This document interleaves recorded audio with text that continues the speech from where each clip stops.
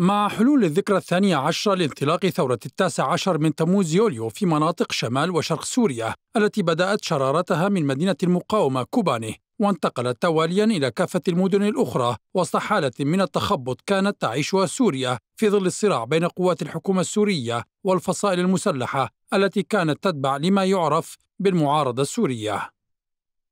ثورة التاسع عشر من تموز يوليو أو كما عرفت بثورة روج آفا خلقت واقعا جديدا واتخذت لنفسها خطا جديدا يدعو للحوار والوصول بسوريا إلى بر الأمان وحمايتها من التدخلات الدولية والإقليمية القائمة على تفضيل مصلحتها الضيقة على مصلحة السوريين. وكانت سوريا منذ ستينيات القرن الماضي تحت حكم الحزب الواحد والحياة السياسية الديمقراطية بحالتها الطبيعية مغيبة فيها بفعل فاعل وهو ما أدى لخلق تراكمات عديدة ظهرت نتائجها جلية مع بدايات الأزمة في ربيع عام 2011 التغيير الذي شهدته سوريا مطلع العشرية الثانية في الألفية الجديدة خلق مستجدات ساعدت سكان شمال وشرق سوريا على النهوض وإطلاق العنان لثورتهم المستمده من أفكار ثورية آمنت بها شعوب المنطقة لتحقيق أهدافها في الوصول إلى الهدف المنشود وهو سوريا ديمقراطيه لا مركزية.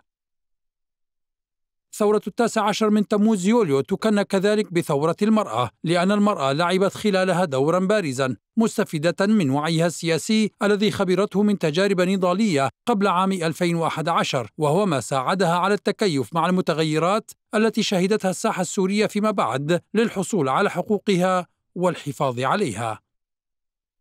الثورة غيرت الكثير من المفاهيم المجتمعية نحو المرأة، لا سيما مع خوضها لمعارك ضد الإرهاب في عدة مناطق في إقليم شمال وشرق سوريا، ومساهمتها الكبيرة في تحرير القرى والبلدات من قبضة الإرهابيين وتقلدها مناصب مهمة في الإدارة الذاتية وعدم بقائها ضمن الصورة النمطية التي تشكلت عقب الثورات التي شهدتها البلدان العربية في السابق، إذ كانت المرأة حاضرة هناك في المظاهرات لكن اختفت عن المشهد فيما بعد. وجه آخر لثورة التاسع عشر من تموز يوليو تجلى بمشاركة شعبية من كافة القوميات والإثنيات فكانت جامعة للكرد والسريان والعرب والتركمان والأرمن وكانت كذلك منبرا لصوتهم المكبوت منذ عقود في ظل السياسة الإقصائية التي كانت تنتهجها الحكومة السورية وبعد 12 عاما من ثورة التاسع عشر من تموز تغير الكثير في إقليم شمال وشرق سوريا على كافة الأصعدة والمستويات إذ ساهمت في تغيير مفاهيم مغلوطة كانت مدرجة ضمن المناهج الدراسية التابعة للحكومة السورية وأدرجت الإدارة الذاتية حقائق مغيبة في مناهجها لإنشاء جيل واع بحقوقه وواجباته تجاه أرضه وأرض آبائه وأجداده التاريخية.